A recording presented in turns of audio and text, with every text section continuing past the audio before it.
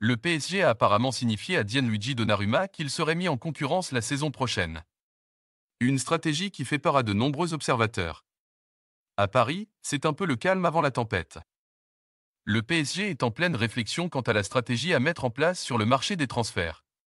Selon les derniers échos de la presse, les champions de France ont pris une première décision forte.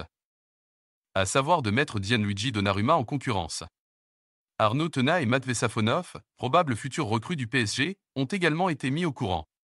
Si Donnarumma est friable au pied et dans ses sorties aériennes, il reste néanmoins une valeur sûre sur sa ligne. Pour certains observateurs, la stratégie parisienne est donc risquée. C'est en tout cas l'avis de Wally Acherchour. Sur l'antenne de RMC. Le consultant a en effet donné son avis sur le sujet.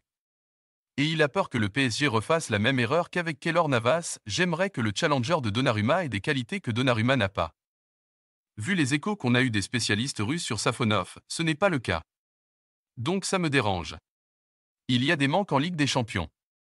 Je suis ouvert à la question du challenge de Donnarumma, mais il va falloir me prouver que les mecs qui arrivent au PSG sont meilleurs. Si c'est pour faire la même erreur qu'avec Navas alors qu'il était très bon, ça n'a pas d'intérêt.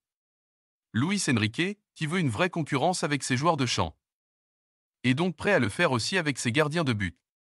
Les fans du PSG ne sont pas au bout de leur surprise avant une nouvelle saison qui devra être meilleure que la précédente.